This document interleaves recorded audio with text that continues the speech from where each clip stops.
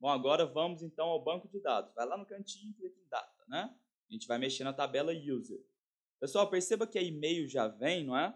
Ah, e aquelas informações que são provindas do Facebook já é interno da Bubble, embora ele não te mostre aqui, mas já tem aquela parte de quando você seleciona Facebook lá no usuário, né, já tem a opção de foto de perfil, de primeiro nome, de sobrenome, lembra disso?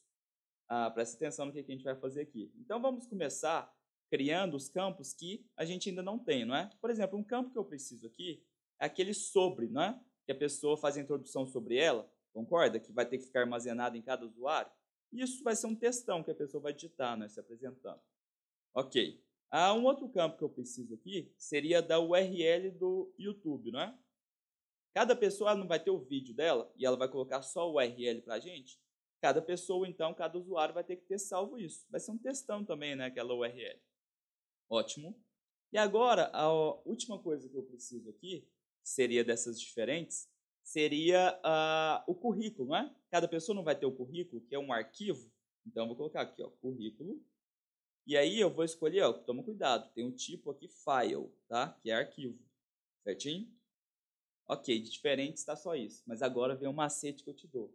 Olha aqui que é a ideia. Quando você fizer o login com o Facebook, beleza, usa isso só para login. Na sequência, pega essas informações e cria no seu próprio banco de dados. Como assim, Brasão? Você já poderia pegar direto a foto de perfil no sistema da Bubble daquele jeito que a gente fez? Facebook, do current user depois a foto de perfil? Poderia, mas esquece isso para você poder editar tudo. Faz o seguinte, a pessoa fez o login com o Facebook, está te trazendo algumas informações, não é? Pega essas informações e salva no seu usuário, tá? Então, como assim, ó, vou criar a foto de perfil, que vai ser uma imagem, né? Vou achar aqui. Ou seja, quando o cara fizer o login no Facebook, já vem aquelas informações a da foto, daqui a pouco eu vou, ensinar o sistema a fazer isso, vou pegar ela e vou guardar aqui ó, em foto de perfil. Que aí eu não fico dependendo do Facebook mais. Eu posso brincar de editar aqui o quanto eu quiser. Essa é a dica, tá? Então vou criar, criar isso para os demais. Ó. Lá não vinha já o nome? Vou criar aqui o campo nome. Não vinha o sobrenome? Também vou criar sobrenome. É um texto.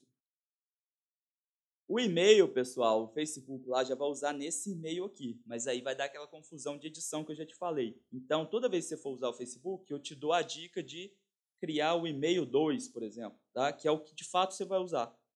Então, aquele e-mail 1 lá, o sistema do login do Facebook que vai usar. Você não vai ficar usando isso não, tá? É um tipo de texto, tá? Eu tenho uma colinha aqui só para ver se a gente não esqueceu de nenhum dos campos. Deixa eu olhar. O currículo tá ali, foto de perfil, nome, sobrenome, URL do YouTube e sobre a pessoa. Então, certinho. Entendeu a ideia? Eu vou usar o Facebook mesmo só para entrar. Na sequência, assim que ele entrou, eu vou pegar todas essas informações e vou salvar no meu banco de dados. Porque aí eu posso editar à vontade, sem conflito algum. Certinho? Então, agora a gente pode continuar. Vamos lá.